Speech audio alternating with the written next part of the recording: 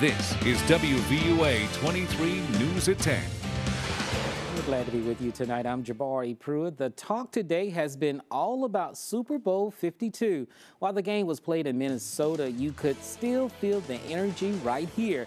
WVUA 23's Emily Mosner joins us live tonight from the studio. And Emily, you caught up with fans right here in Tuscaloosa. That's right, Jabari. As we both know, Tuscaloosa is a football town. So despite not cheering on the Tide, everyone I spoke to was super excited about watching the Super Bowl game tonight.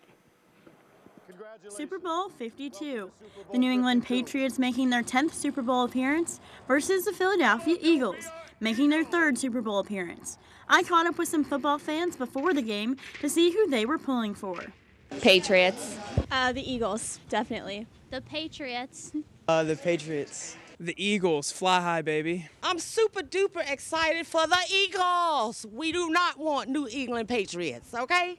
As for scoring predictions, I think they're going to dominate. I'm predicting uh, 35-10 final score, Patriots. For some fans, the food can be just as important as the game.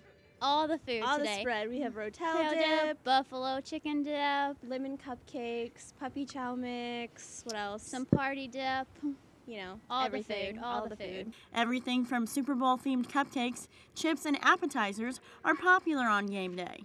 Stores such as Target know exactly what to stock up on before the big day. Order a more, a lot more um, of your Tostitos, your salsa, a lot more um, beer is uh, pre-ordered. Now the final score was 41-33 Philadelphia Eagles. On a side note, a University of Alabama graduate, Scott Edwards, served as the sideline official during the Super Bowl game. Live in the studio, Emily Moser, WVUA 23 News. Emily, thank